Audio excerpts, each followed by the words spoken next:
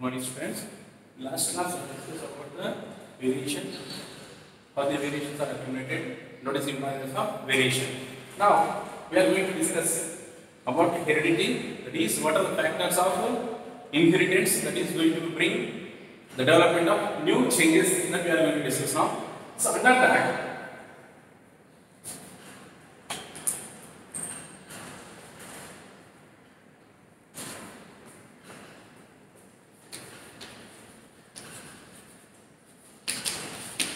As we have seen that heredity means so transfer of in traits or characters from one generation to the next generation.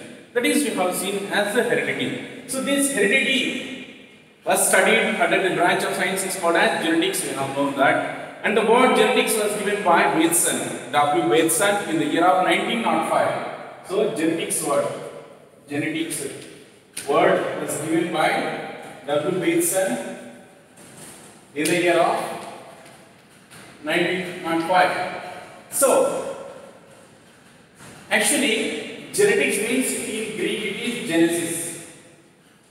Genetics means what is the word? It is genesis. So, what is genesis means in general? To become.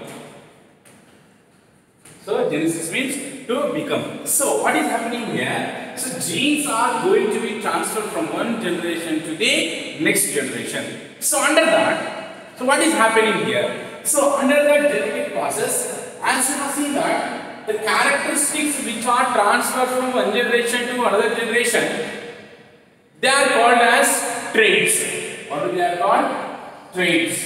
So, traits are nothing but the characteristics like color of the skin, facial features, height of the organism. These are all the factors or characters that are called as traits. So these traits which are transferred, generally there are two types. So what are the types of traits is number one, inherited, inherited trait, that is one. And another type is, what is another type of trait is acquired, acquired. So these are two types of the traits that are going to be transferred from one generation to another generation which is showing the development of new characters. So here what is inherited? Inheritance. So inherited characteristics are the characteristics that are transferred from one generation to another generation due to the changing structure of the DNA in reproductive cells. That is what we can call as inherited traits. So what is inherited traits means? The inherited traits are the characteristics that are transferred from one generation to another generation due to changing structure of the DNA of reproductive cells. And that is carried forward to the next generation. That is what is happening here. Characteristics are transferred from one generation to the next generation. That is we can call as inherited traits. So these inherited traits are brought by the changing structure of the DNA under the process of sexual mode of reproduction as we have studied. And also these traits are transferred due to the mutation that is environmental factor that is also another factor to bring the change in the structure of the DNA that cause development of new characteristics and transfers to the next generation. That is called inherited traits. So this is brought by the reproduction. Reproduction is one of the factor of uh, inherited traits. What type of reproduction is factor? Sexual mode of reproduction. Sexual sexual mode of reproduction that is one of the factor and also environmental factor environmental factor that is mutation so mutations which are brought in the changing structure of the DNA molecule that causes the development of uh, new characteristics and that is one of the factor of uh, inherited traits that is one type of trait and these traits like color height facial features these are coming under the inherited traits that are transfers. Understand? That is inherited, acquired trait. So acquired, so means which is we are obtaining during the life process. So under the what is happening here? The traits or characteristics we are getting or we are acquiring in middle of our life process. That is called as acquired trait. For example, suddenly if I met an accident, if I lost my hand, now I will become handicapped. Is the lost hand will be transferred to my baby or not? Sudden, certainly it is not possible to transfer. Why? Because the changing in structure of the non-reproductive cells that do not transfer from one generation to the next generation.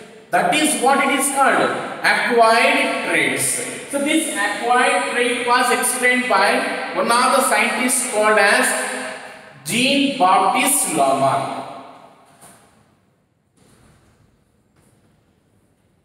Jean Baptiste Lamarck. So Jean Baptiste Lamarck was the first scientist who said that the bodily changes characteristics are also going to be transferred from one generation to another generation. Means bodily changes, which change brought in our body suddenly because of any accidental conditions. That is causes to loss any body parts and that may cause us to transfer next generation that was said by Jean Baptiste Lamarck under his Lamarckism. Lamarckism.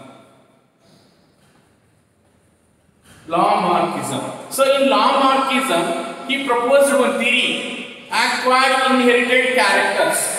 So what is the theory proposed by the Lamarck and the Lamarckism? Acquired inherited character. This is the theory which was proposed by the Lamarck and which he explained about the transfer of characteristics which is brought by the body changes. That is non-reproductive self change also possible transfer from one generation to another generation. So for this he gave an example. He compared the height of the deer and the giraffe. So what he said, in the beginning of our earlier beginning of the earth, the giraffes were usually the same size to the deer. So what we are seeing now, the giraffe is having very long neck. But in the beginning of the earth formation, he said that the giraffe is equal in height of a deer. So what is happening here? During grazing time, so the giraffe is not able to take or grab the food from the land. So what they did? So they try to collect food from the branches of the tree. So when they are not able to catch the branches of the tree, the giraffe started stretching off its neck. Due to the stretching of his neck, it become long. That is what one simple example said under Lamarckism. So, under Lamarckism what he said? The giraffe is usually the equal height to the deer. But due to the lack of food on the land, so what did? They stretched their neck to find the food from the long, large or big trees. During the, process of stretching, they started stretching complete neck and they become long necked which is continuously transferred to the generation to generation which you have seen now they have long neck. That is the Jean Baptiste Lamarck said in Lamarckism but blindly nobody can accept what is it. Another scientist named as Augustus Weismann so another scientist Augustus Weismann, who opposed the Lamarckism. He do not accept it. Why he do not accept? Because experimentally start proving that acquired traits or characteristics are not possible to transfer from one generation to another generation. For this experiment, what he did? He selected rat family. He selected rats so what is happening here? He cut the tail of the rat and allows to participate in reproduction and he found that the baby rat is having tail. He did not conduct for one generation. Around 22 generations he observed by cutting off the tails of all the baby rats. And he found that all the new generations are born with the tails. They were born with the tails. So final, what is the conclusion he gave? The body changes of characters or do not pass on to the next generation. So the Lamarckism was uh, not accepted because of Augustus Weismann. He proved that the bodily changes characteristics are not passing from one generation to the another generation.